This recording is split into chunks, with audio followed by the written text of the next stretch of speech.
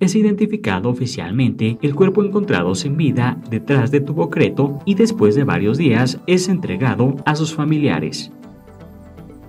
De acuerdo a la información recabada por Noticias de la Provincia, el cuerpo del hombre encontrado sin vida el pasado 4 de abril en el camino que lleva a la comunidad de Las Mangas y que pasa cerca de la empresa Tubocreto fue sepultado varios días después de su identificación oficial.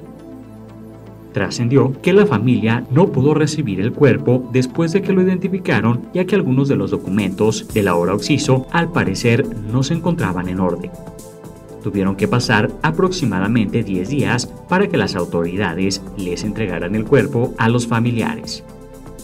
El occiso fue identificado como José Leonardo Rangel Márquez, de 27 años de edad, y que en vida contaba con su domicilio en la calle Allende de la zona centro.